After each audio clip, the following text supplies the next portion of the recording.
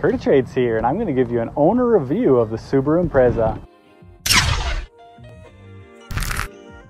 So I've had this car about five years. It's a 2012 Impreza Sport, and I've had it for 112,000 miles, and it's a really great car. I have uh, a lot of good things to say about it. Um, I've also done a video about common problems on these cars, and it's the same as the Crosstrek basically, and you can find that video up here. Um, I'm not going to talk about too much of the common problems. If you want to see that video, you can. Um, I'm just going to more talk about what I think of the car, what I like about it, what I dislike about it. So the things I like about the car, I like that it's probably one of the cheapest cars that you can get that is the most fuel efficient and having all-wheel drive. I live in a place with a lot of snow, and so having all-wheel drive is really nice to have. It's very hard to beat Subaru when it comes to finding cheap, fuel efficient, and all-wheel drive. That's the best part about the car, I think. Um, the second thing that I really like about the car is actually something that people dislike about it, which is the CVT. This car, I was very skeptical when I bought it because I wasn't sure about CVTs. I had heard only kind of bad things about them, that they fail frequently, that they're kind of clunky, that they um, kind of feel like mush when you hit the pedal. But the CVT has very gr much grown on me. If I want a fun car, I'm going to buy a manual. If I want a daily driver, I'm going to buy it with a CVT. I don't want a traditional automatic. And my other car has the ZF 8 speed automatic, which is known to be one of the smoother traditional automatics. And I prefer this every single day over that. The things that I like about the CVT, it's super smooth. It doesn't clunk into gear.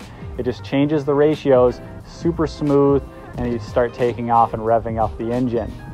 Um, it it does do fake shifts occasionally, and I have a, another video that I can show you here. It depends on how you accelerate. If you accelerate super fast, it basically just revs up to peak horsepower and sits there. If you accelerate slowly, it basically just comes up to about 2,000 RPM and sits there as well.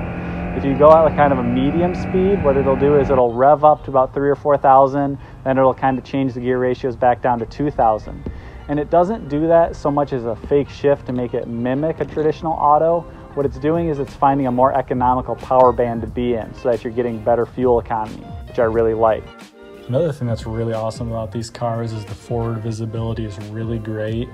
Up by the A-pillars, it's very skinny and they have these small windows here to help with the visibility. A lot of cars have really large and wide A-pillars here and sometimes they have bad placement of their mirrors or just kind of very bulky mirrors and they don't have that little window and it can block a lot of your view especially when you're making turns.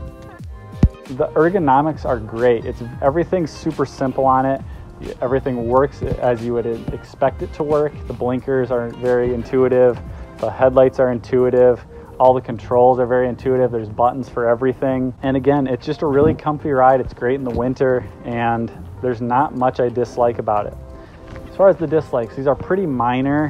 Um, one of the biggest things I dislike about it is that when I'm going down a hill, it'll want to downshift or um, put the ratio, the gear ratio into a lower gear ratio so it revs up and it uses engine braking to slow your car. I don't have big mountains. In the mountains, that's nice because then it doesn't wear your brakes down from coasting your brakes all the way down a mountain. But I have just hills around me, and so I actually have to upshift a lot when I'm going down hills because otherwise it just uses extra fuel that I don't need to use. So that's kind of one of the minor things I dislike about it. The other big thing I dislike about it is the Bluetooth is terrible. It um, doesn't connect well. You have to push buttons to get it to charge your phone when you're plugged into the USB ports. If you use the actual cigarette lighter, it will actually get around that so you don't have to push buttons to get it to charge your phone.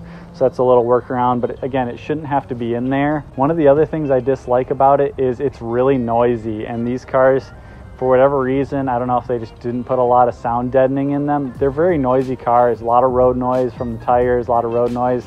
Wheel bearings seem to constantly be going out on these things. And so they're just a rather noisy vehicle to ride in whenever I'm using the Bluetooth, I can't I can't actually use the Bluetooth with my phone because it's just too loud. People can't hear me. The road noise overpowers everything else. But this car has been super reliable. In the about 60,000 miles I've owned it, I really haven't done anything other than oil changes. It's simple, it's easy to work on, it's cheap, it's cheap to maintain, and again, it's just a really nice overall good all-wheel drive car to have with good fuel economy.